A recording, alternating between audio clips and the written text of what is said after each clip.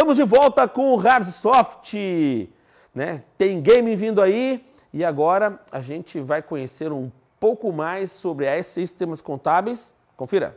A SCI Sistemas Contábeis investe em pessoas. Para ouvir e visitar você. Se comunicar e resolver suas dúvidas. Treinar o seu pessoal para pensar nos usuários durante o desenvolvimento das tecnologias. A SCI tem sistemas para atender todas as áreas da contabilidade e é pioneira na integração das informações, conectando a empresa contábil com seus clientes, governos e bancos. Com as tecnologias web SCI, que estão no mercado desde 2005, a empresa contábil recebe de seus clientes todas as informações necessárias para alimentar o sistema fiscal e contábil. Além disso, pode disponibilizar documentos e relatórios de forma segura e prática e que podem ser acessados em qualquer dia e horário, fazendo inclusive o controle de CNTs e de tarefas como serviços, obrigações e impostos. A integração das informações de colaboradores já existe desde 2009 no RHNet e que agora vai se tornar o RHNet Social. E o gestor da empresa contábil ainda tem em mãos todas as informações necessárias para atender seus clientes com mobilidade. SCI Sistemas Contábeis. Sistemas são diferentes porque nós somos únicos. E agora sim, chegou o momento reservado para quem é vidrado em jogos para PC. É contigo, Anderson. A gente vai ver aí o Overture. Confira. Overture é um jogo do estilo roguelike, que é um estilo de jogo que é, trata de fases que são aleatoriamente criadas e vão se modificando conforme você vai avançando. Então, é algo assim um pouquinho diferente e procura também aquela temática mais pixelada, né? Ele procura usar esses gráficos que também é algo característico desse roguelike. Aqui a gente pode escolher entre algumas classes de personagem. Eu escolhi aqui o, o guerreiro, que ele é mais forte, só que tem um alcance um pouco mais limitado. Também tem a possibilidade de a gente escolher os magos, que tem um alcance um pouquinho maior só que também com uma redução aqui de é, defesa, né? Existe a classe dos ladinos e existe a classe dos xamãs, cada uma com as suas características. Né? Então aqui o que a gente tem que fazer é procurar pelo, digamos, inimigo maior que tem aqui na masmorra.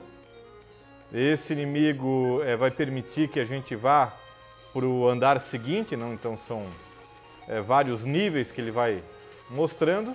Até os próprios inimigos são gerados aleatoriamente.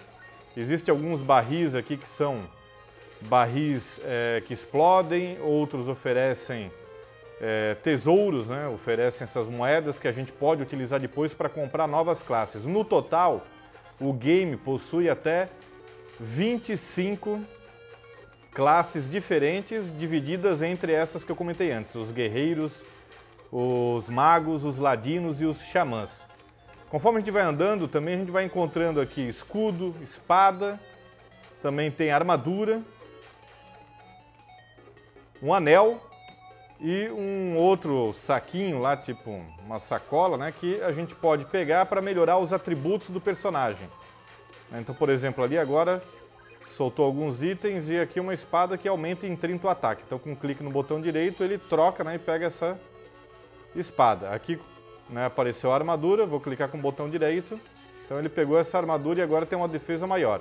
Então lá em cima aparece né, todos esses itens que eu consegui recolher. E a gente sempre tem que observar se aquele item é melhor ou pior do que aquele que a gente está utilizando atualmente.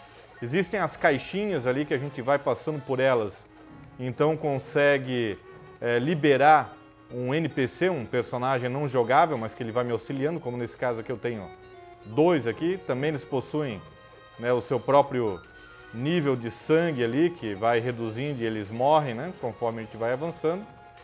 Né? Então tem inimigos mais fáceis de derrotar, outros um pouco mais difíceis. Com o botão direito eu vou soltando aqui um tipo de uma magia, né? nesse caso do guerreiro, esses círculos verdes ali. E os potinhos que caem, o azul é para aumentar essa magia e o vermelho seria para aumentar daí o sangue ali que eu vou perdendo também pelo caminho. Ó, foi atingido, né?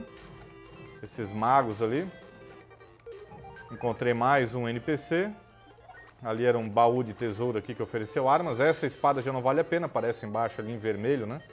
Que tem 20 de ataque, menos do que aquilo que eu tenho atualmente. Existem armadilhas também que eu tenho que tomar cuidado, como aconteceu agora né, que vários inimigos saem ali quando eu passo por um determinado ponto. É muito fácil de morrer né, nesse jogo, então, como aconteceu agora ali, aparece ali um, uma lápide, né, hip. Então, se morrer, não importa o ponto que você estava, ele recomeça tudo novamente. Então aqui, como eu comentei antes, eu posso escolher entre Warriors, né, os guerreiros, Rogues, os magos e os xamãs. Então eu vou trocar agora, por exemplo, vou escolher esse, esse mago aqui. Os demais estão bloqueados, a gente precisa de ouro para conseguir desbloquear eles. E agora vamos nesse primeiro nível novamente com o mago. A gente já observa que é um nível totalmente diferente. Ó. Né, mesmo sendo a primeira fase, né, porque eu morri e recomecei, né, é totalmente diferente, com inimigos diferentes. Né, as espadas e as armas todas vão aparecer em locais diferentes do que antes apareceram. E esse aí foi o Overtude, né? um jogo aí com estilo diferente, mas com uma temática aí muito bacana. Muito legal, Anderson. E lembrando que para ficar por dentro das últimas notícias do mundo dos games, é só acessar o nosso blog ou redes sociais para conferir as novidades sobre os lançamentos de jogos, consoles, eventos e muito mais. Não deixe de conferir, valeu? Vamos agora para uma breve pausa, mas o Hardsoft volta já, não, não, volta já, não sai daí, porque no último bloco do programa você já sabe, né? É professor Ciro na veia ou na veia, professor Ciro? Mais na veia do que na veia. Mais na veia, né? Então tá bom, a gente já volta.